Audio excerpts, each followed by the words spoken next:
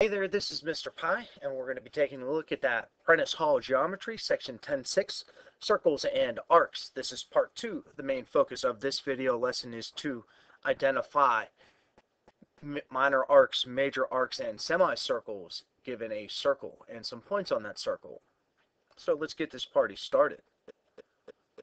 An arc is a part of a circle. One type of arc, a semicircle, is a half circle a minor arc is smaller than a semicircle and a major arc is greater than a semicircle. Since both of these minor arcs and major arcs are being compared to a semicircle, it's best to start off with talking about a semicircle. This would be read arc TRS is a semicircle, so TRS, what I just highlighted in pink, is a semicircle, so the measure of arc TRS is equal to 180 degrees. Now, much like we saw before, uh, the arc, talking about just the arc, the shape, TRS, we do not use the measure. If we want to talk about how long or how many degrees it is, we use the M in front. Here, arc RS is a minor arc, so from R to S is a minor arc, and the measure of arc S is equal to the central angle, the measure of angle RPS. So RPS will give us the measure of this arc they're the same measure. Arc RTS is a major arc. The measure of arc RTS is equal to 360 degrees minus the measure of arc RS, the corresponding or the related minor arc. So the measure of arc RTS is found by subtracting the measure of its minor arc. The measure of a semicircle is 180 degrees. We saw that in this first diagram. The measure of a minor arc is the measure of its corresponding central angle. So the definition of the measure of minor arc is by the size of its corresponding central angle. And the measure of a major arc is 360 degrees minus the measure of its related minor arc.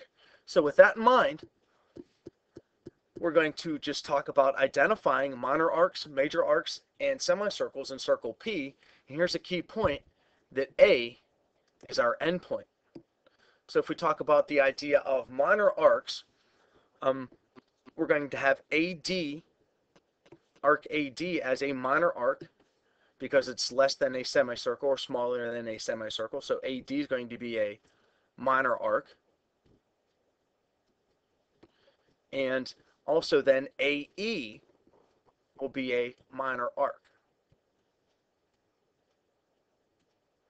Keep in mind there are other minor arcs in here, but uh, we have to keep in mind it's A as an endpoint. So these would be the only two minor arcs created as A as an endpoint. Now, major arcs with A as A as an endpoint, there's different ways to name them. You can name the one going to the right from A, you could call it ADE, or you could call it ABE. I'm going to call it ABE, so that'd be arc ABE.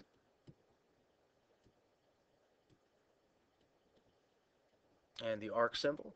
Or on the other side, you could name it arc AED or arc ABD.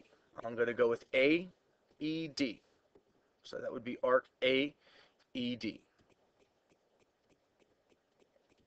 Remember, there are other ways to name these arcs.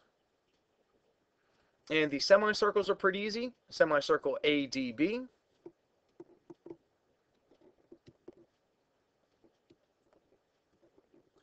and arc AEB.